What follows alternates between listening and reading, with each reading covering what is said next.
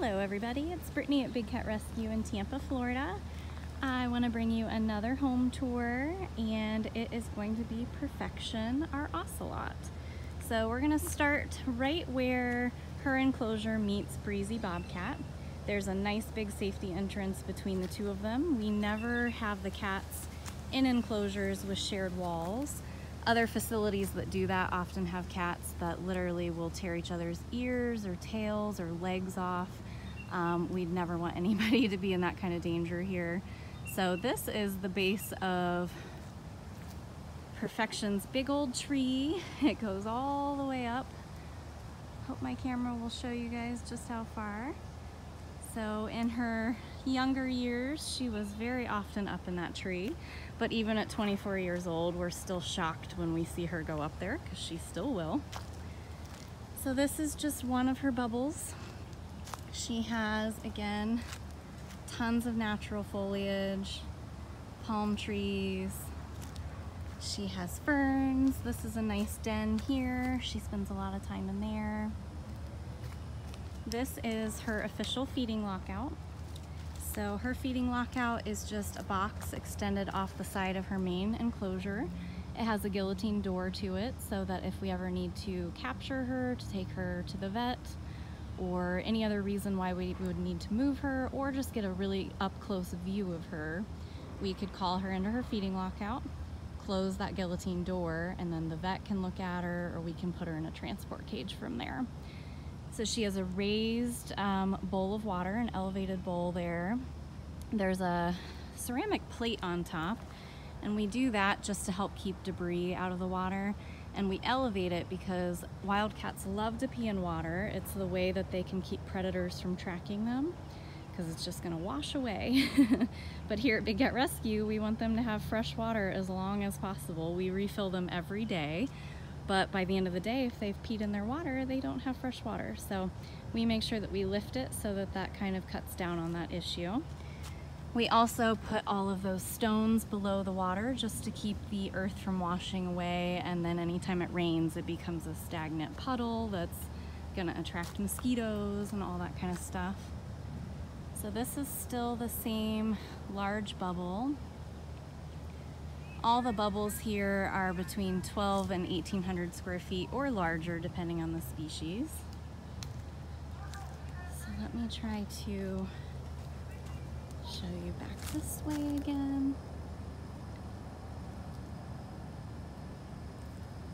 Lots of space for our little ocelot. Here is another safety entrance, a double door system. If we ever need to go in this side or the side she's in, we would just have to shift her to the opposite side, lock up the door, and then we would be good to enter so that we could do any kind of maintenance. She has yet another lifted water bowl here. We sanitize and refill uh, water bowls and clean their feeding plates every single day. Here she is. Hi, beautiful. This is Purrfection Ocelot. She is 24 years old. 24 years young, right? She's like, did you bring me something? It's almost that time. she is an evening meds cat. She's like, oh, no, you don't have anything. So this is a very cool platform. You can see that it's sort of a rotating staircase. So she can go to the very, very top. There's actually a flower pot up there that she really likes. She spends um, a lot of time up on that top level and the way it works is it's just like a spiral staircase. So she has to go all the way around. I'll show you from the other side.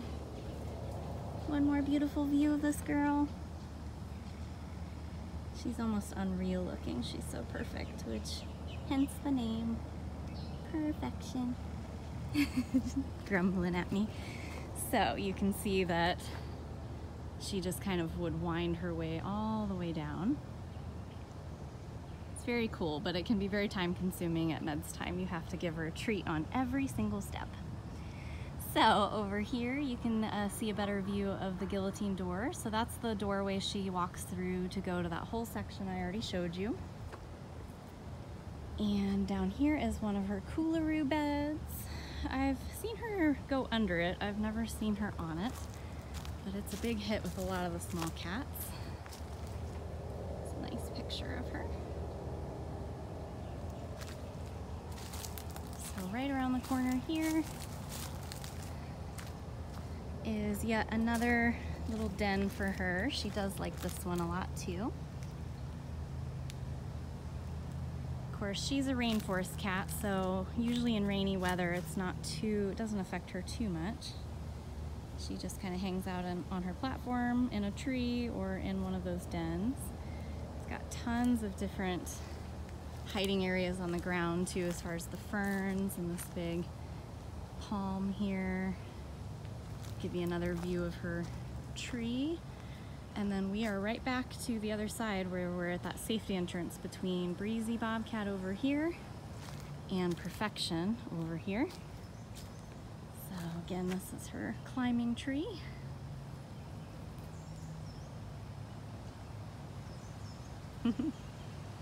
well, thank you guys very much for watching these home tours. Hopefully you enjoyed getting to see Purrfection Ocelot and her home here at Big Cat Rescue. Um, we are able to give these cats all the amenities that we can because of great supporters like you. So thank you so much. If you have other questions, just go to bigcatrescue.org slash cages.